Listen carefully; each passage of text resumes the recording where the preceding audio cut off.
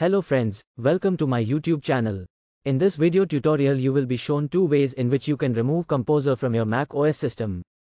In the first method, I will remove Composer using the sudo command.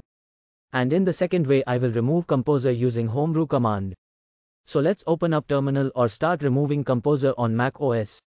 First I will run Composer v command on the terminal, which will tell whether Composer is installed in my Mac OS system or not. You can see this, Composer is installed on my system.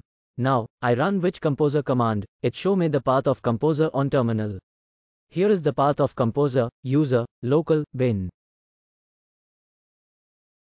I will copy user, local, bin and then move to this directory using the cd command. Yes there is the Composer directory which contains all the directories and files of the Composer. Now, I will delete the Composer directory using this sudo room rf composer command. Now again type composer command on terminal. Oh composer like no directory message is showing. That means composer has been deleted from the system.